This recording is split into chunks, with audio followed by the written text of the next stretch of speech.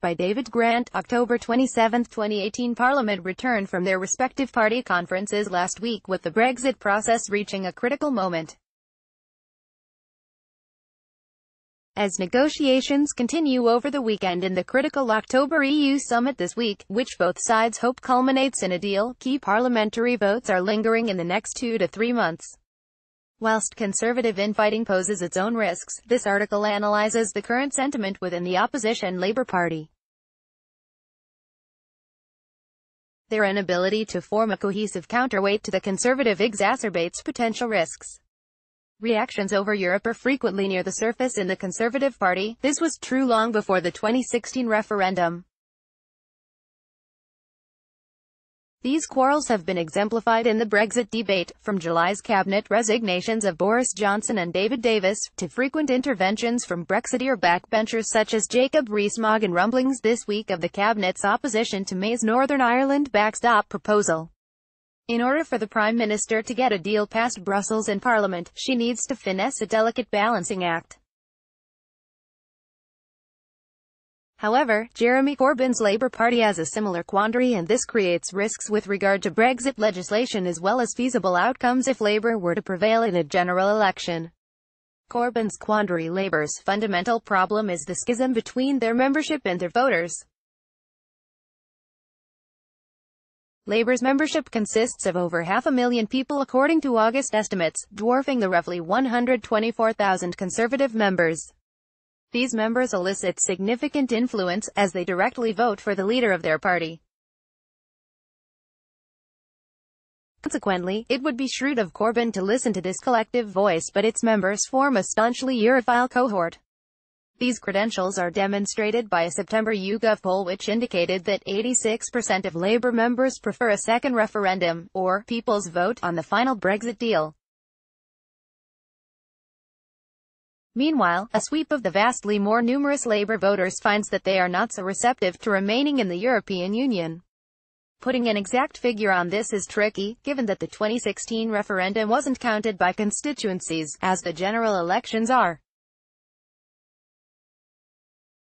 However, estimates reveal that 61% Labour constituencies voted to leave in the referendum of June 2016. This puts Labour's policymakers in an unenviable position, facilitating the counterplaying wishes of their voters and members. Jeremy Corbyn faces constraints in Westminster akin to those felt by Mrs May as he does not have the unwavering support of his MPs. Ironically, Corbyn is perhaps the most famous Labour rebel since taking his seat in 1983, but this may come back to bite him. Disloyalty from his party has already played out in the Commons. In June, during a vote on an amendment regarding membership of the European Economic Area, 75 Labour MPs voted for continued EEA membership, ignoring party instructions to abstain.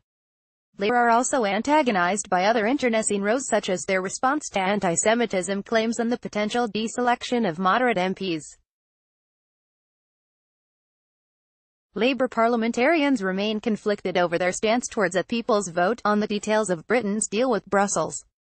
Corbyn and Shadow Chancellor John McDonnell remain unsympathetic towards clamours for another referendum, seeking a general election instead, where they aspire to continue on the unexpected gains they made in the 2017 election. However, as the opposition, they have no prerogative to force one. In the UK, an election must be called at least every five years, with the next not due until 2022.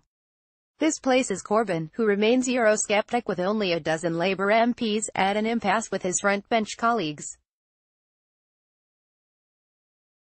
Labour frontbenchers have been openly freewheeling in the media with these juxtaposed opinions. Deputy Leader Tom Watson has publicly pushed for a second referendum.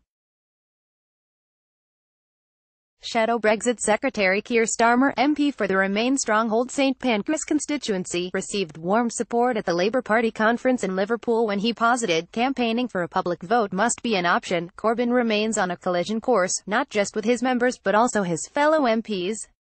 Likely outcomes needless to say, the risks facing May's government and the United Kingdom as a whole are already extensive. Crunch talks with Task Force for Article 50 are looming, swiftly followed by the EU summit commencing on October 17. From December, Parliament sees critical votes on legislation, the Withdrawal Bill, Withdrawal Agreement Implementation Bill, as well as the Withdrawal Agreement drawn up with Brussels.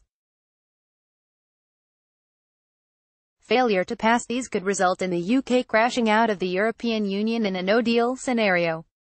The Conservatives have been beset with disagreements with the DUP and amongst themselves over how to rectify the Northern Ireland backstop solution and agree an end date to a temporary customs union. So where does Labour fit into this?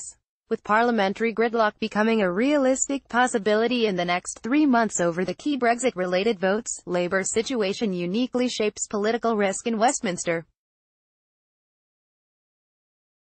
The Tories wafer-thin majority and May's tempestuous relationship with the Eurosceptic European Reform Group within her party make these votes a toss-up.